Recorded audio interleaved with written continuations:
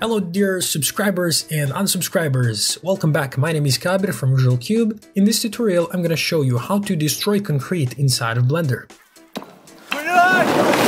But not like this guy. But before we start creating things inside of Blender, don't forget to click that subscribe button.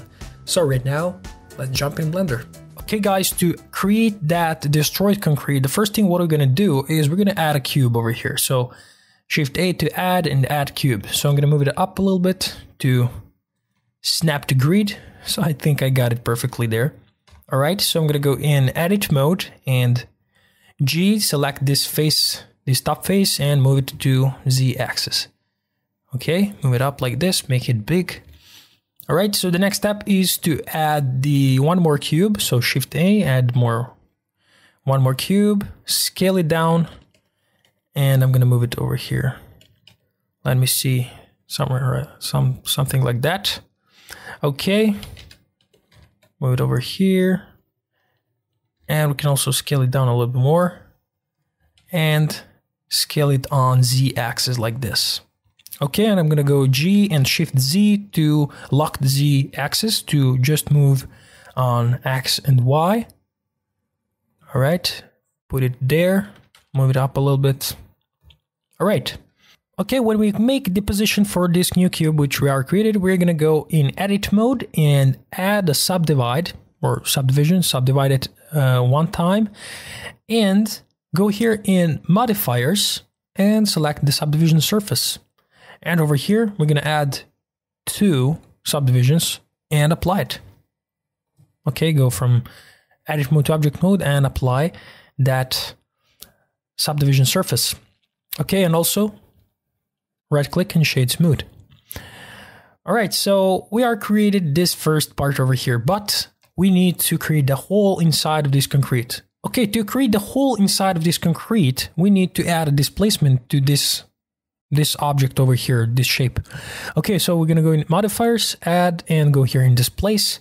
And right now, as you can see, we are created this mm, shape bigger, but we need a little bit noisy displacement on this on this object. So we're going to do that by creating new texture. So add a new texture and right now we have this a little little cube created with these uh, weird edges. To get rid of these things, we're going to go and create our own texture inside of the texture properties. So over here, uh, texture properties and I'm gonna change the type of this texture from image or movie to Musgrave.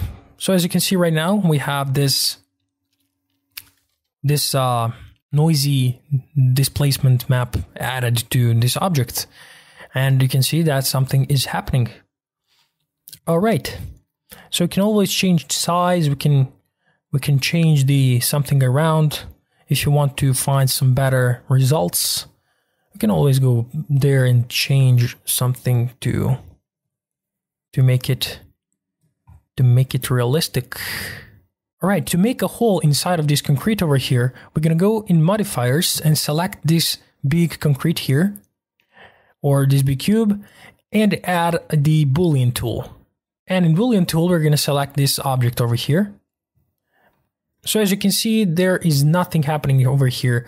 But to see that, go over here inside of this, uh, select first this cube over here, or this object, and select the, go inside of the object properties and go in viewport display. And in viewport display, we're going to change from texture to bounds. And right now, as you can see, we have the hole inside of this, inside of this cube, or so-called the uh, concrete. So we can change the size of this of this object here so we can move it over here, change it, make it bigger. And you can always go back inside of these uh, textures and make a different textures if you want to change something inside of this inside of this hole. But for right now, as you can see, everything is okay. And also don't forget to apply this displacement. And when you apply it, apply and also apply it boolean.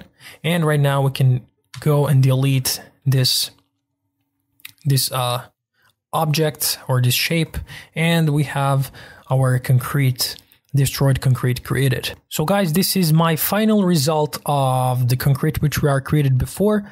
So you can always spend some more more extra time to create some details inside. So I created this uh, metal metal bars over here. I created the the cracks inside of this inside of this uh, concrete, and I added some rocks down here as a detail as well. Alright guys, that is it for this tutorial. If this was helpful, click that subscribe button, like this video, share this video with your friends, and see you in the next week in new tutorial.